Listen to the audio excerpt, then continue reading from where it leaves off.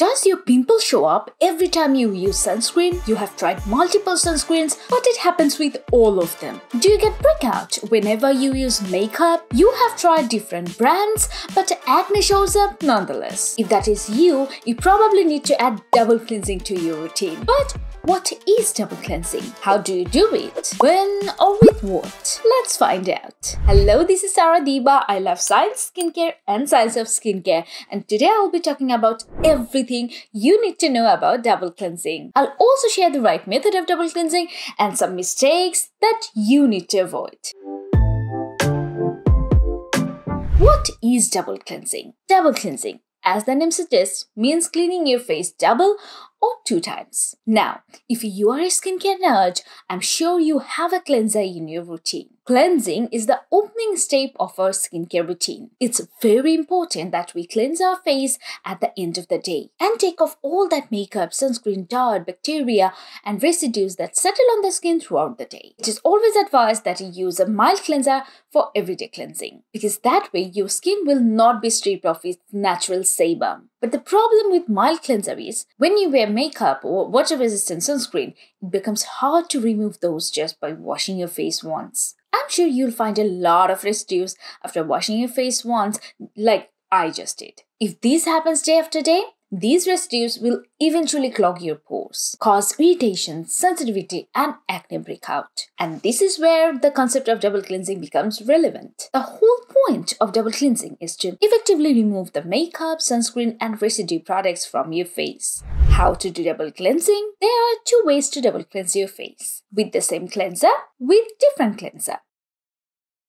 Double cleansing with the same cleanser means basically washing your face twice with the same cleanser or thrice. Basically, as many times as it takes to get rid of all that makeup. The theory behind this method is that a cleanser is designed and formulated in a way to effectively remove products from our face. All cleansers contain surfactants. The oil-loving part of the surfactants attracts the oily residues, while the water-loving parts help wash it all off. The pros of these methods are it's budget friendly, you don't need to invest time and effort looking for a separate product. Risk of irritation is none as you are not using any new product. The cons of this method are not very convenient to use, might not be very gentle to the skin. From my experience, removing my makeup with my regular cleanser becomes quite messy. It takes me a lot of time and effort to effectively remove every speck of residues. It irritates my skin and I simply don't like the process. So I personally prefer the second method, which is double cleansing with different cleansers. This is the traditional and most popular method of double cleansing.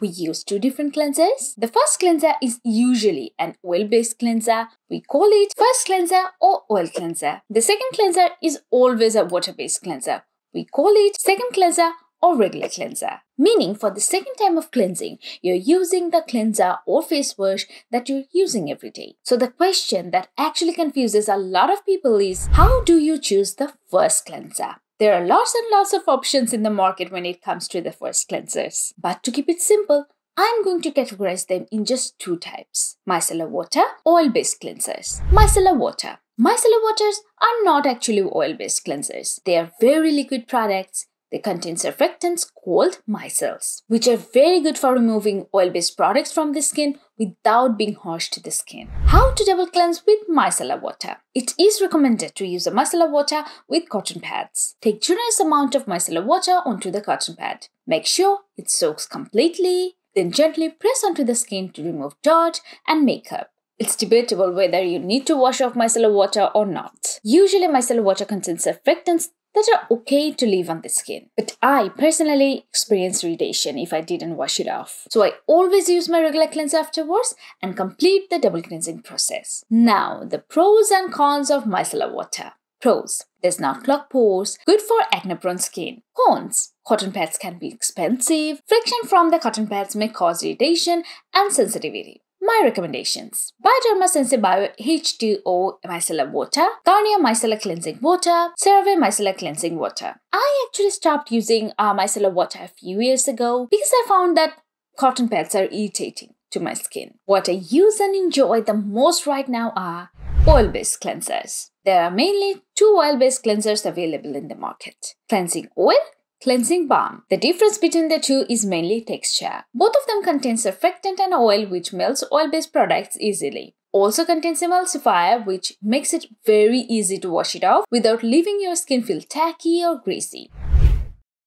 Cleansing oils are, as the name suggests, liquidy and oily. It's very easy to use. You take a few drops on your hands, put on your face, wait a few seconds, massage very gently, and all the makeup and sunscreen comes off just like that. Take a little water and massage on this face to emulsify it. Emulsification makes it easier to wash off the oil, so you should wash it off with water first. Then use your regular cleanser. My recommendations Hada Labo Gokujyun Cleansing Oil, Iunik Calendula Complete Cleansing Oil.